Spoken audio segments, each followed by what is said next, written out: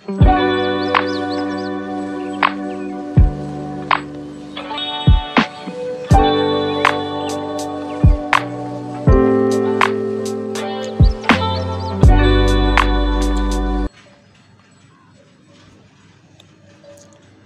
दोस्तों, welcome to my channel gardening with Jubi. मैं आज आपके लिए लाई हूँ शफरेला प्लांट केयर। किस तरह से करें? शफरेला प्लांट की केयर तो देखिए, एक ये इंडोर प्लांट है। देखिए, कितना इसकी पत्तियों का कलर देखिए आप। कितनी खूबसूरत पत्तियाँ है इसकी, दो शेड में।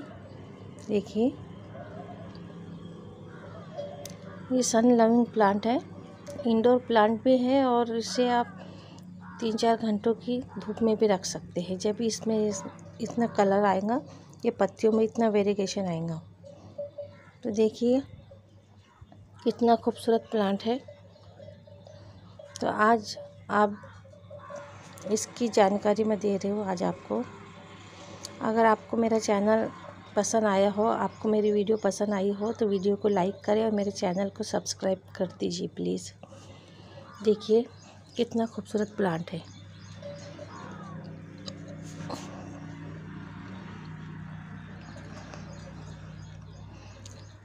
अगर आप आपके गार्डन में कलर ऐड करना चाहते हो तो देखिए कितना खूबसूरत प्लांट है ये।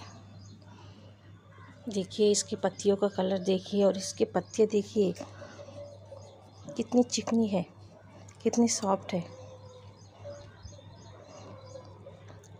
तो आप इसे कटिंग से भी ग्रो कर सकते हैं। इसकी कटिंग भी आसानी से बारिश में चल जाएँगी। अगर बारिश में लगाना चाहते हैं तो।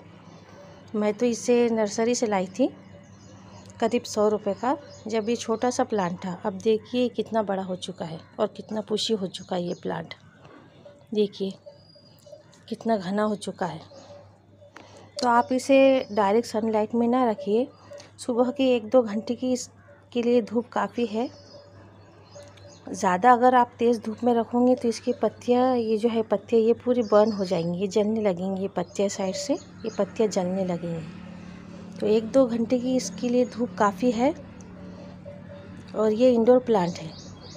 थोड़ी इसको ब्राइट लाइट चाहिए तो इसका कलर ऐसा निखर कर आएगा। देखिए ये पत्तियों में कलर देखिए। इस तरह से आप अगर एक दो घंटे की इसे धूप देते हैं तो ये ऐसे इसकी पत्तियाँ खिलने लगती है कलर से। देखिए कितना प्यारा प्लांट है ये, कितना खुशी प्लांट है। इसे मैंने बड़े गमले में लगाई हूँ, देखिए, ये गमला मेरा। बड़े गमले में। कितना खूबसूरत प्लांट है। तो इसकी कटिंग भी लग जाती है और इसे एक दो घंटे की धूप सनलाइट चाहिए। देखिए कितना खूबसूरत प्लांट है। इसके केयर के बारे में करूँ तो अगर साल में अगर इसको एक बार वर्मी कंपोस्ट दे दे या गोबर की खाद दे दे तो ये भी आसानी से चल जाएगा। इसकी ज़्यादा रिक्वायरमेंट नहीं है केयर की। बस इसे नमी चाहिए पानी। इस, इसकी मिट्टी हमेशा गीली रहना चाहिए। देखिए, ये ऐसी इसकी मिट्टी है। ये हमेशा गीली रहे मिट्टी, नरम रहे, सॉफ्ट रहे। पानी इसमें हमेशा रहना चाहिए। गीली मिट्टी चाहिए वेल ड्रेन सॉइल चाहिए। पानी गमले में जमा ना हो।